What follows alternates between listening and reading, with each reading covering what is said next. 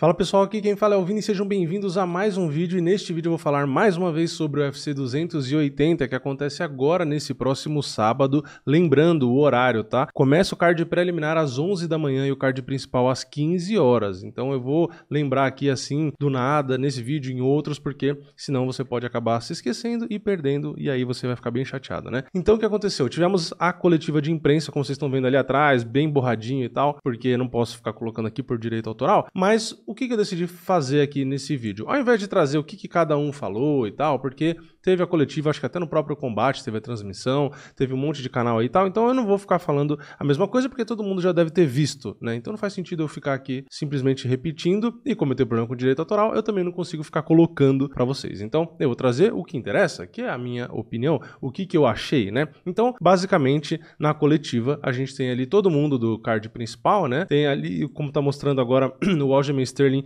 e o Piotr Jan, né, que não vai lutar um contra o outro agora, né, já lutaram, mas estão do lado um do outro, mas a luta não é entre eles, né. A gente tem o Belal Muhammad que aparece ali em cima. Então, basicamente, a gente tem todas as lutas, né, começando na ordem. A gente tem a Caitlyn Chukagan com a Menon Fiorot, é, que são lutas ali, essas primeiras, né, que perguntam menos para esses caras, né, porque querem saber da luta principal, né. É, depois a gente tem ali também, tinha, né, o Beneder Yushi é, contra o Matheus Gamro, que também é uma luta bem interessante. Tem o, o próprio Piotr Jan, que eu já tinha mostrado ali contra o Sean O'Malley, o Aljamain Sterling e o TJ Dillashaw, e a luta principal, que é o Islam e o Charles. Então, como eu falei, né, o que que acontece? A maior parte das perguntas são para o Mahashev e para o Charles, que foi realmente onde teve mais ali é, troca até de palavras entre um e outro, mesmo o Charles não falando inglês, mas o tradutor é muito bom e consegue ali ir traduzindo, e ele é, usou ali a entonação da voz para dar a ideia do que o Charles estava querendo dizer, então isso também ajuda, né, porque a gente sabe que ter o tradutor às vezes esfria ali a conversa, mas o tradutor fez questão de traduzir realmente o que o Charles estava falando e às vezes até meio que sem querer atropelou, acho que abriu uma publicidade ali, hein? Deixa eu pular o anúncio. Então, às vezes até o tradutor acabou é, meio que pulando ali, passando por cima do que o Mahashev estava falando, porque ele estava tentando mesmo que traduzir e tal, então ficou nessa discussão, mas foi bastante legal mesmo assim. O Mahashev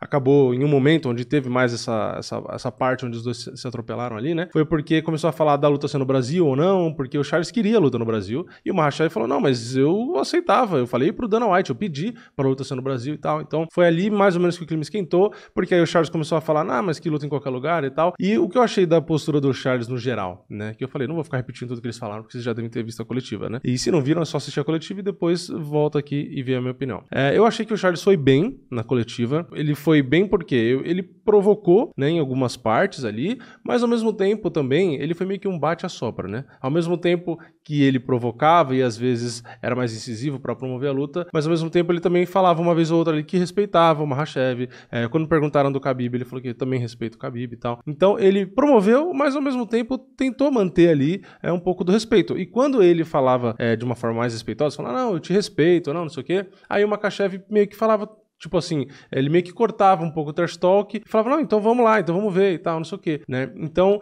meio que o próprio Makachev, quando era para provocar, ele também provocava, e quando o Charles meio que falava mais respeitoso, o Makachev ficava meio assim também perdido e falava, ah, e tal, então vamos ver, vamos fazer e tal. Então, meio que é, foi engraçado, né? Porque teve momentos realmente que os dois trocaram provocação, e foi meio que um atropelando o outro, e teve um momento que os dois começou a meio que ficar mais tranquilo. Ali no começo da coletiva também teve um cara que acabou falando com o Makachev, questão de adversário adversários que o Charles Makachev enfrentou, enfim, isso que todo tempo tá todo mundo falando. E o Makachev falou: "Ah, mas quem o Charles enfrentou antes de disputar o cinturão?". E ali a maior parte da galera tá a favor do Makachev. O Makachev tá meio que lutando em casa, né? Então, tudo que ele falava, que nem ele, esse tipo de resposta que eu acabei de falar, a galera gritava, apoiava e tal, não sei o quê. E quando o Charles falava, a maior parte das coisas, quando era provocação, a galera meio que é, vaiava, não gostava. E quando o Charles tratava com respeito o Khabib e o Makachev, que falava, eu respeito muito a história dele, ele sempre repete, né? Falou do Makachev, falou do Khabib, aí a galera realmente é, gostava, né? Então,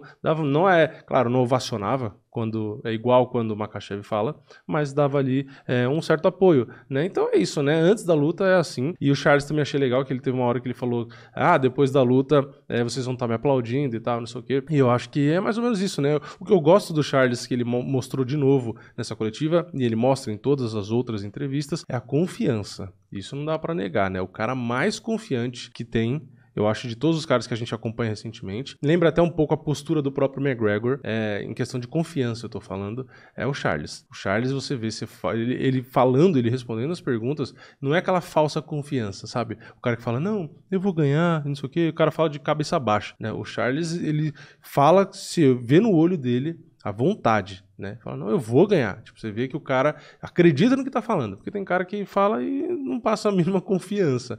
Então o Charles não tem o balde de cristal, não sei se ele vai ganhar ou não, mas não dá para negar, né? A vontade, a confiança que o cara tem é até inspiradora, né? O cara realmente passa aquela vontade, isso é bem legal. Né? Mahashev também se mostrou bastante confiante, né? Na hora da encarada dos dois ali, os dois se olharam olho no olho, nem piscaram, não se tocaram, né? Foi diferente do Piotr Jan que empurrou o Shomali ali e tal, mas ali é mais o trash talk. Aliás, até falando de um pouco de Piotr Jan, de Shomali, teve ali uma resposta ou outra, mas poucas perguntas também, um pouquinho de provocação, mas também não achei nada demais. Aljamain Sterling de Lachol também, uma troquinha ou outra ali para promover e tal, mas eh, meio que a graça da coletiva pelo menos na minha interpretação ali, ficou mesmo pro Charles e pro Mahashev, né? Que era o foco. A gente teve o Dariush ali, que é um cara que é muito gente boa. Então, por mais que os caras tentem fazer pergunta, induzir ele a provocar e tal, você vê que o cara é, o cara é tão gente boa que não adianta. Você joga a bola pro cara cortar, para ele provocar, para ele promover a luta e ele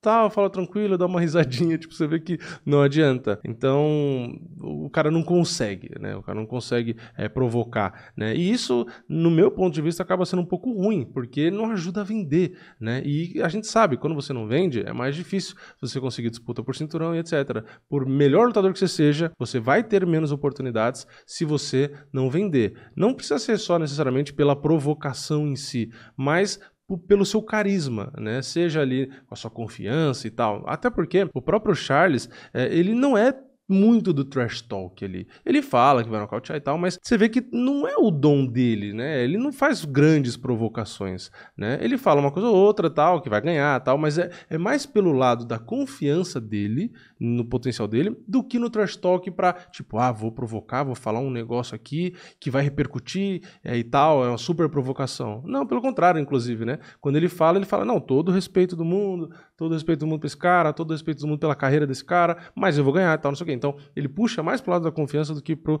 trash talk em si. Assim como o Mahashev, né? O Mahashev fala que, que ele é bom, que o Khabib é bom, que o legado, que tal, não sei o quê. Tenta ir um pouco pro lado do trash talk ali, né? É, falando do que, ah, que o Charles desiste, não sei o quê. Aquele trash talk básico, mas ainda assim também não é um grande trash talker, né? Então, no final das contas, tanto o Mahashev quanto o Charles, apesar de ter feito uma coletiva que eu achei legal, é, os dois usaram um pouco do trash talk, mas dá para ver que a postura dos dois é mais pela confiança dos dois, né? Não é tanto trash talk assim, quanto o próprio Sean Malley, que apimenta um pouco mais. O Piotr acabou apimentando um pouco mais, dando aquele empurrão. Tudo isso vai ajudar a vender, né? Então, é, nenhum deles é, ali, dessa coletiva inteira, tem um grande trash talk assim, que realmente faça diferença, né? Então é isso, né? Essa é a minha percepção, são os meus comentários para essa coletiva. Eu acho que foi uma coletiva ok, né? A gente já teve várias coletivas que realmente foram chamaram mais atenção e ajudam a vender mais, né? Mas não foi uma coletiva ruim. Então, sei lá, né? Eu acho que uma nota 7 vai para a coletiva. Teve um,